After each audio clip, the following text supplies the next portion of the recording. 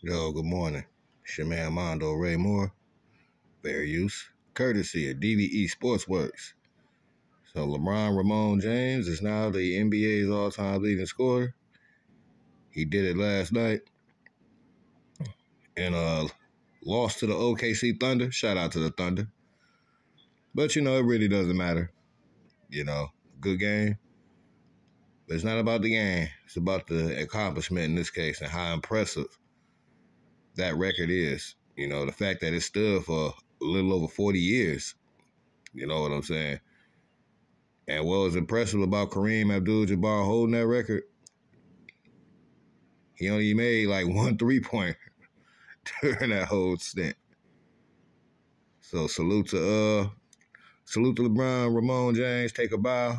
Salute to the original GOAT, Kareem Abdul Jabbar. LeBron James is now the NBA's all time leading scorer.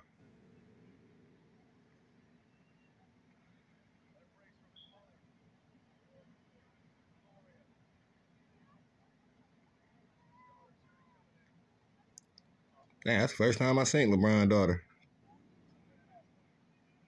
So you got Bronny and Bryce out there. that's what's up. Typical LeBron shot.